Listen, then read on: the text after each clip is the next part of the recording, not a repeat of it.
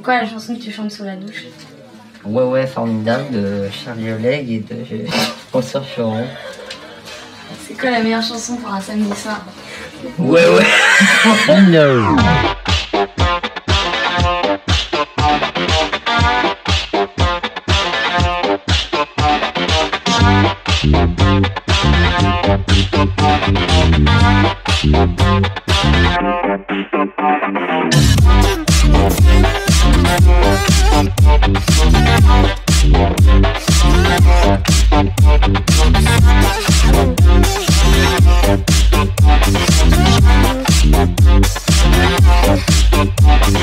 Oh, oh, oh, oh,